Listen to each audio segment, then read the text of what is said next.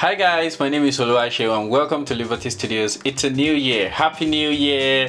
Like, it's my first time of dropping a video this year and I wish everyone a prosperous one. I have some great content this year. Right in front of me I have my screen and uh, I'm very excited for what's to come. Let's get into this.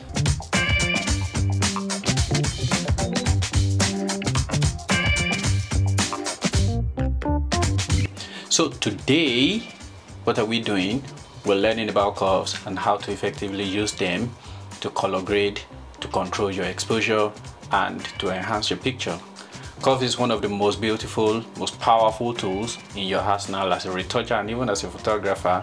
Most of the time I use curves and I, I, I can't even imagine a world without curves. So basically it is important to understand them properly.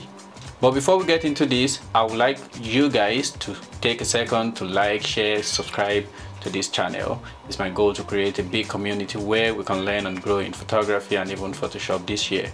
So let's jump right into this.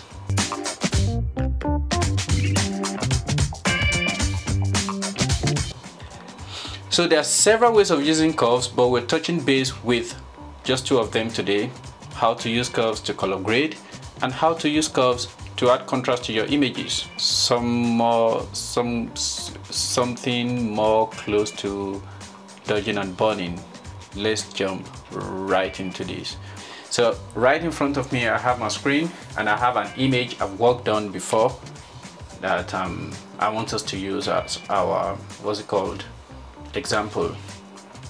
So without doing so much the first thing you want to consider after or before you retouch any image if you if you would like to just use this to color grade or to to to enhance the image.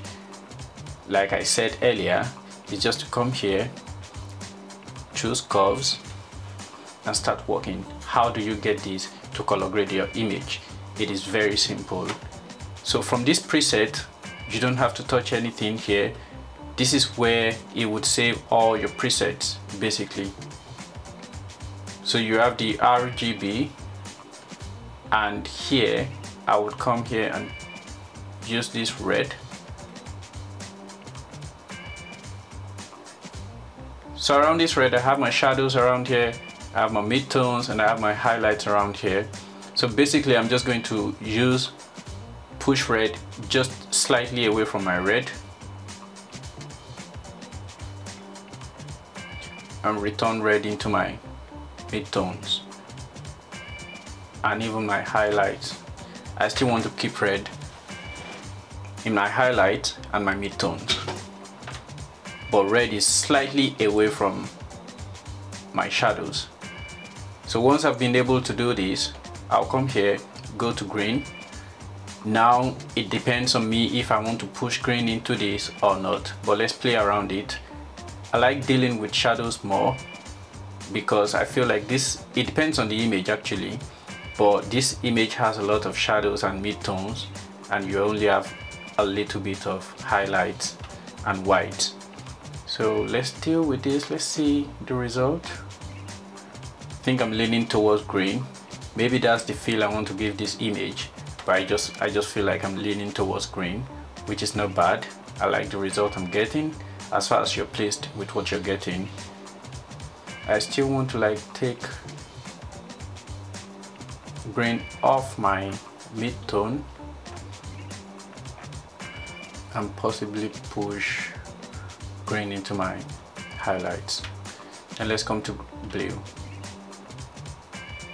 Basically I want to push some blue into my shadows push more blue into my midtones and uh, push blue away from my highlights.